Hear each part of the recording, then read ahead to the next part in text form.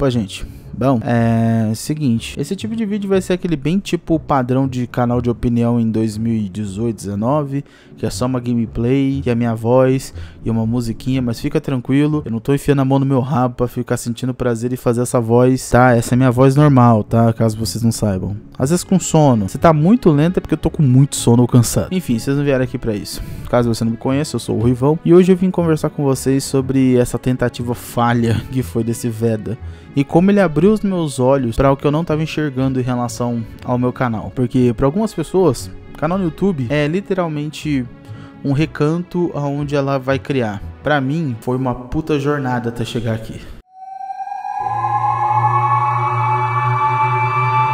Lá em meados de 2016, 2017, eu criei o meu canal com o intuito de postar gameplays editadas. Só que assim, na época meu conhecimento de edição era quase nulo e eu só tentava reproduzir o que eu via em outros vídeos. Eu não tinha a minha própria identidade, eu não tinha o meu próprio estilo de edição. E isso sempre foi uma coisa que martelou muito na minha cabeça até eu conseguir produzir algo e eu olhasse aquilo e falar, tá, essa é minha marca. As pessoas vão assistir meus vídeos e vão saber que é eu ali. E nesse meio tempo, enquanto eu tava criando, eu cheguei a entrar para uma equipe de edição, que eu não vou citar o nome dela aqui porque realmente foi a pior fase acho da minha vida, mas ela me ensinou muita coisa e eu também evolui muita coisa em edição, em muita coisa sobre mim mesmo, com as pessoas, editores e tudo que eu aprendi e as pessoas que eu conheci lá dentro. E meio que respingou isso para minha vida, assim quando eu, eu voltei a criar. Tanto que foi meio que nesse entretempo da equipe e tudo acontecendo que eu criei meu vídeo mais visto aqui do canal, que é o Forza Horizon 4 versus The Crew 2, qual comprar. Na época eu tava tentando fazer meio que que era um Ruivo Comenta, que é uma cópia exageradamente ruim de Gema Please do Gema Comenta, que era basicamente o... Aliás, na verdade eu peguei o Ruivo Comenta, só que do Gema Review. Eu, tipo, eu, eu misturei tudo, velho. Soquei tudo no liquid, desaprendi a falar. Enfim, soquei tudo no liquidificador e saiu essa merda de Ruivo Comenta, que na verdade hoje se transformou no Project Games. Até porque Ruivo Comenta e Project Games, você vê qual que tem um peso aí no nome nome do que só um ruivo tá comentando alguma coisa. E foi um pouco antes de postar esse vídeo que eu também conheci o canal do Sr. Wilson, o do Colônia Contra-Ataca, o Angry The Game Nerd e o Scott The Was. São caras que eu enxerguei ali a direção que o meu canal tinha que tomar. E foi dali que as coisas realmente começaram a ficar mais direcionadas. Aos poucos eu fui aprendendo com o meu erro e tentando postar coisas para manter a frequência, que é uma das coisas que o YouTube infelizmente pede para você. Só que aí é, vocês não sabem a briga mental que começou entre tentar lidar com a equipe, meu canal morrendo, não postando vídeos sem frequência. Eu entrei num looping que é, é não vou falar looping, eu entrei numa descarga, porque eu parecia um, um tolete de merda descendo pela privada, de tão quebrado que eu tava na minha cabeça.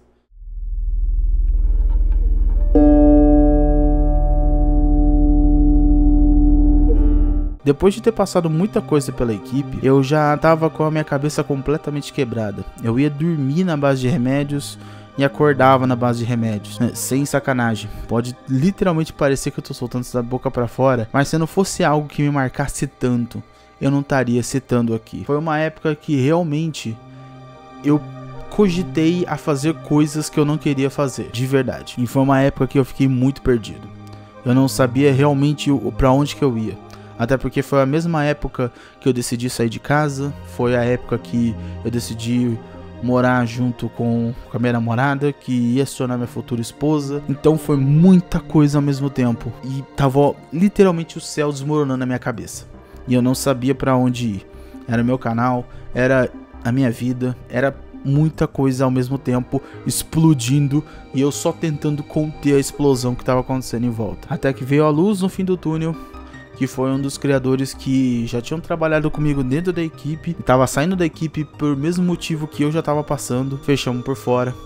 E eu saí da equipe finalmente. Dali, foi meio que nesse tempo de saída que eu, eu já estava lidando com as consequências das minhas ações de entrar na equipe. A equipe foi uma. Foi realmente um ponto que eu entrei e eu achei que eu estava trabalhando com uma equipe. Eu foi um, um, local onde eu entrei eu achei que eu estava realmente em prol de uma equipe que realmente estava tentando ir para frente, estava tentando se transformar na melhor equipe de edição do Brasil, que estava realmente querendo se começar a crescer e ganhar seu espaço.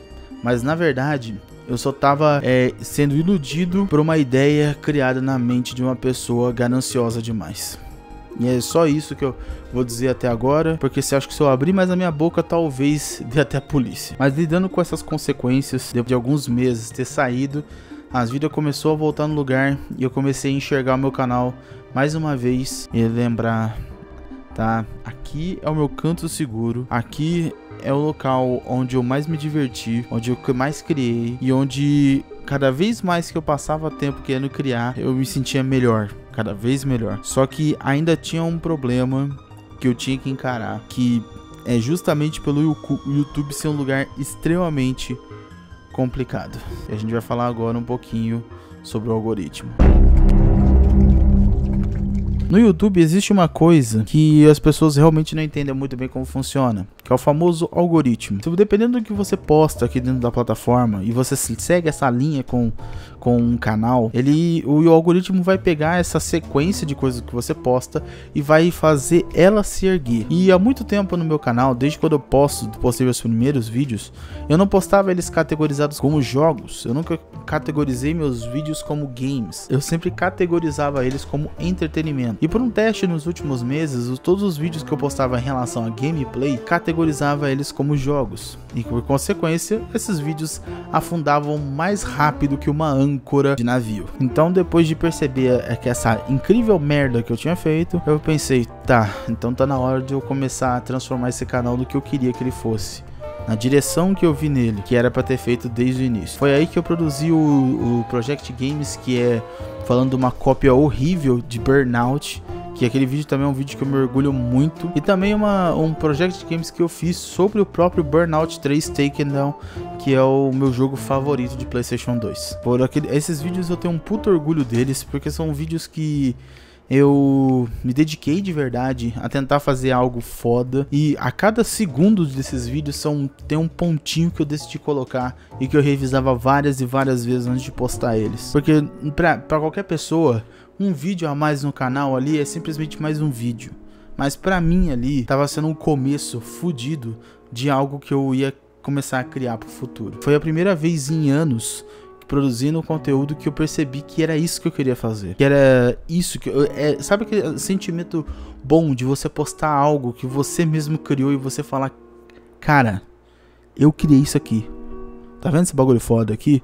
Fui eu que fiz. Eu acho isso muito foda. E então, foi essa linha que eu fui seguindo. E pra provar pra mim mais do que nunca, os últimos dois vídeos de gameplays que eu postei aqui no canal, eles foram extremamente mal. Justamente o YouTube me provando que é isso mesmo, querido. Não adianta o que você faça. O seu canal é entretenimento, não é games. Então, quem sabe no futuro não tão muito longe, eu não crio um canal focado em gameplays, às vezes até long plays mesmo. Eu já tenho um canal que é focado em postar trechos de vozes cortados por como se fossem episódios, às vezes até alguns vídeos que eu assisto em live ou coisa de react, mas é um canal que eu só decidi postar essas coisas, sabe? Ele vai ser um recanto para guardar as coisas que eu crio caso eu precise no futuro. Mas talvez, quem sabe, eu não, eu não crie um canal mesmo focado em gameplays e eu contrato até um editor para deixar ele editando isso aí, porque é o que eu quero um dia, criar um canal de gameplays e deixar pra, na, na mão de um editor para ele criar junto comigo aquele canal. Mas a taverna vai ser para sempre o recanto aonde eu vou começar a criar coisas que eu gosto. Então, já vou deixar essa informação bem clara. Duvido que você tenha chegado até aqui, mas se você ainda está aqui comigo até agora, Primeiro, muito obrigado por ter me escutado por tanto tempo. Eu tenho que deixar um recado muito importante aqui. As coisas aqui vão mudar, elas vão mudar para melhor. Todos os vídeos que saírem de agora em diante vão ser criações que eu quero é, trazer para vocês, como Desventura nos Games, que é o que eu adorei editar e adorei produzir e também vídeos mais trabalhados como o próprio Project Games e também os famosos vídeos mais trabalhados. Eles vão demorar às vezes semanas, meses, não sei. Mas eles vão sair quando eles, eles vão ter que sair. Ele não vai, o canal não vai ter aquela frequência até porque não adianta. O YouTube já mostrou que se eu postar um vídeo atrás do outro e esses vídeos forem mal um atrás do outro, ele só vai enfiar meu canal no limbo. Então, é melhor eu produzir algo de alta qualidade, entregar algo de alta qualidade, é, abrindo mão da frequência e ficando feliz com o que eu posto, do que só jogar mais merda dentro do site. Essa é a minha visão. Mais uma vez, muito obrigado se você me escutou até aqui. Se você não for, se você for inscrito do canal e assistiu esse vídeo até aqui, de verdade, muito obrigado. Recentemente eu decidi abrir um PicPay para as pessoas estarem me apoiando diretamente por lá, porque tudo que eu produzo para esse canal é independente. Eu não tenho apoio de lugar nenhum. Eu não tenho editor, não tenho nada. Tudo que eu tiro, até mesmo para produzir as coisas aqui, são tudo do meu bolso. Eu sei que você pode estar tá pensando, pô, sério que eu vou querer te apoiar sendo que você não vai me mostrar nada? Não precisa me apoiar agora. Eu ainda vou, tipo, mostrar muita coisa aqui que vai te convencer o suficiente de você querer me apoiar ou não. Então é só esperar. É questão de paciência agora. E acho que agora eu preciso descansar um pouco. Eu tô exausto e eu mereço isso depois de uma jornada maluca de postar um monte de vídeo. Então, até o próximo vídeo. Se cuidem.